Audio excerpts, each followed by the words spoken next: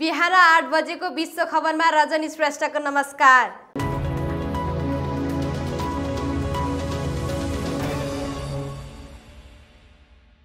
अब प्रस्तुत गर्दैछौ विश्वभरका मुख्य मुख्य खबरहरू।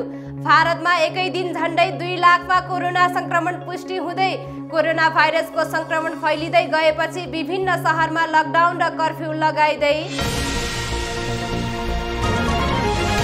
गत हप्ता स्विस नहरमा अड्किएको एउटा विशाल पानी जहाजले हजारौँ पानी जहाज हिँड्ने बाटो छेकेको भन्दै इजिप्ट सरकारले अदालतको आदेशमा सो जहाजलाई नियन्त्रणमा लिँदै पानी जहाजका मालिकद्वारा सरकारलाई क्षतिपूर्ति स्वरूप नौ सय मिलियन डलर दिनुपर्ने जरिवाना रकम तोकियो।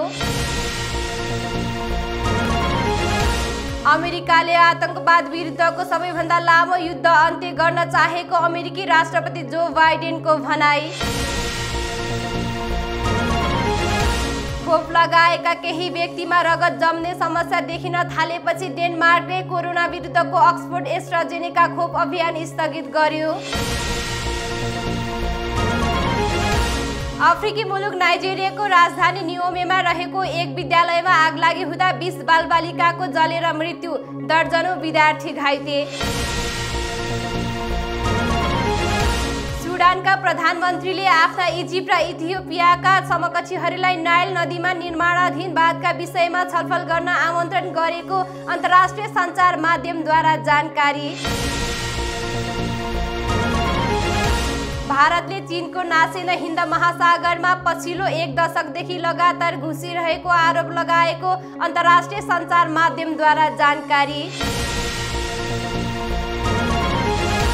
अमेरिकामा ट्राफिक नियम उल्लङ्घन गरेको आरोपमा एक अश्वेत युवकलाई गोली हान्ने प्रहरी अधिकृत पक्राउ। जापानले फुकुसिमाको फोहोर पानी समुद्रमा फाल्ने निर्णय गरेको प्रति कोरियाको आपत्ति। जापान विरुद्ध अन्तर्राष्ट्रिय अदालतमा मुद्दा हाल्ने कोरिया सरकारको चेतावनी।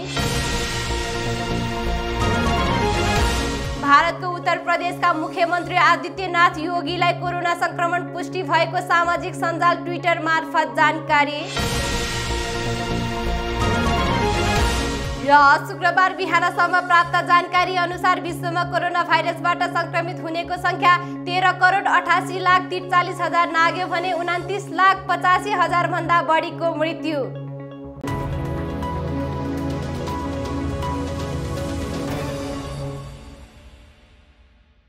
हवस् त अहिलेलाई विश्व खबर यही सकियो। फेरि पनि विश्व खबरहरू लिएर उपस्थित हुने नै छौँ।